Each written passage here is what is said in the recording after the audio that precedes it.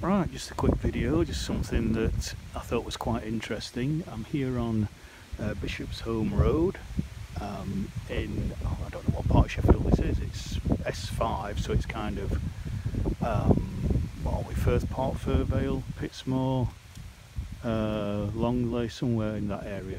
Um, and I'm, I'm out again watering the trees, I've just watered a few saplings down there.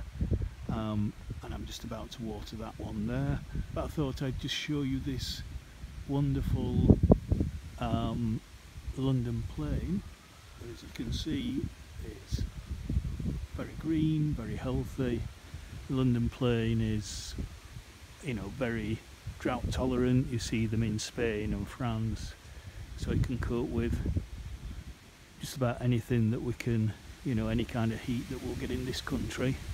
Uh, however just something very noticeable. Don't know if you can see it because of I'm pointing up to the light so let's see if we can just come round here.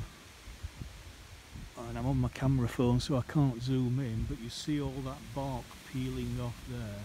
I mean it does this naturally but I've never seen anything like that on a London plane ever before and the reason I noticed it is because half of the bark is on the floor. Just look at all that. So that I think it's shedding the bark I would imagine because of the drought. It's got a weird feel to it. It's almost like a very brittle plastic. It feels so much like a kind of rough plastic. But just I've just never seen this before. Let me stand back a bit.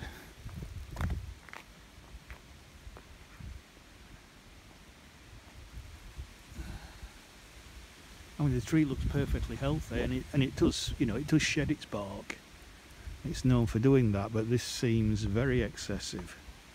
Um, and I would imagine, I'm, I'm not sure on this, I would imagine that this is because of the very dry summer that we've had and the really low amount of rainfall. So yeah just wanted to record that because I've never seen that before.